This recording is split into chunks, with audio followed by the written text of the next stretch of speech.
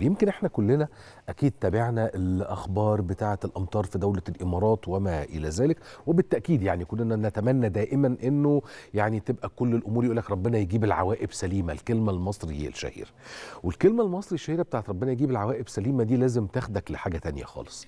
تاخدك إلى إنه ال- المصري ده تركيبة غريبة قوي يا أخي والله العظيم. يعني لما بيبقى في حاجات زي كده عادة عادة مش بقول لك يعني ده الأصل في في الأمور، عادة الناس بتنجو بأنفسها يعني يبقى في أمطار تبقى في سيول تبقى في مش عارف ك... كل الناس بتحاول دايما تنجو بأنفسها، يلا نفسي زي ما بيتقال.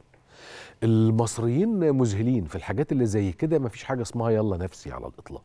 المصري دايما جدع، أنت بتشوفه مثلا وأنت ماشي في أي طريق في أي طريق، تبقى ماشي آه، حصل مشكلة تلاقي ما عربية عجلتها نامت ممكن يقف جنبها خمسين واحد مستعدين يغيروا العجلة ويساعدوك. وده ياخد العجلة في عربيته عشان يروح يصلحها لك وده يساعدك في رفع العربية بالكوريك وده مش عارف يعمل إيه وده يسوي إيه وما إلى ذلك.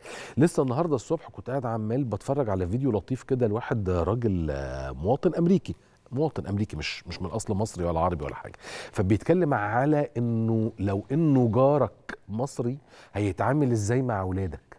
فبيتكلم على إنه هتلاقي جارك المصري بيتعامل مع اولادك على انهم اولاده ومستعد يقعد ياكلهم ويشربهم طول اليوم وانه ابنك هيبدأ يستاء منك لأن انت مانع عنه حاجات وبتقول له يعمل إيه وما يعملش إيه انما المصري دايما بيقعد يهزر مع العيال ومستعد يتبنى الولد بشكل كامل وما إلى ذلك. المصري روحه حلوة والمصري عند إخواننا في الخليج دايما يوصفونا بوصف جميل جدا.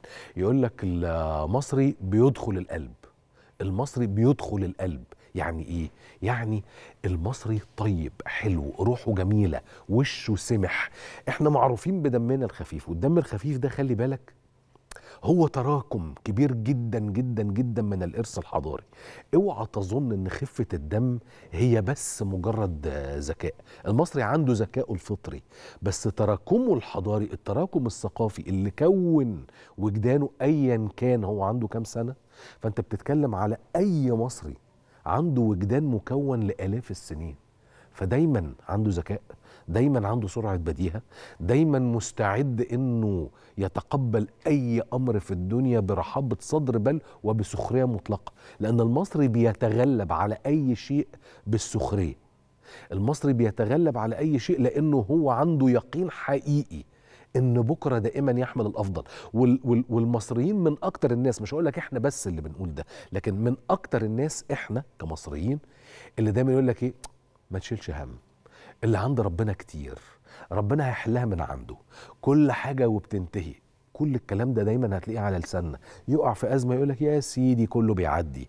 آه عنده مشكلة مالية ما تقلقش هتتدبر. آه مش عارف آه الفلوس عاملة اللي عند ربنا كتير اللي جاي أحلى.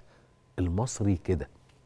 أنا بقول لك ده لأنه أيوه إحنا زي ما أنت حضرتك أكيد متوقع إحنا هنتكلم على أخونا المصري المصرفي اللي أصبح ذائع الصيت جدا في كل المنطقة العربية واللي أنقذ أسرة كاملة في أثناء السيول اللي حصلت في دولة الإمارات العربية الشقيقة.